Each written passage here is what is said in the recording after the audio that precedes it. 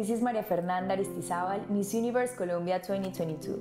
Today, I want to talk about a silent drama that accompanies a large number of women menstruation.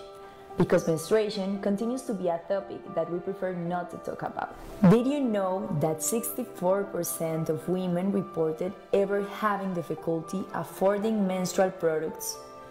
And 21% reported that they were unable to afford these products every month, that means that 1 in 10 girls around the world do not have access to sanitary products, often preventing them from going to school for up to a week.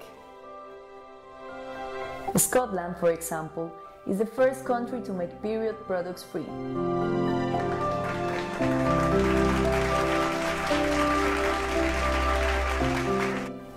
Country, Colombia, we have a lot of different programs and different organizations that are trying to normalize menstrual equity.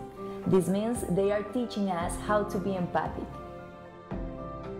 According to UNICEF, 20% of girls in the Colombian Pacific consider menstrual blood to be dirty in addition. Period poverty is real. Period equity should be real too. I believe a world without period poverty and stigma is possible but most of all, I believe in a world where we don't feel ashamed of being women.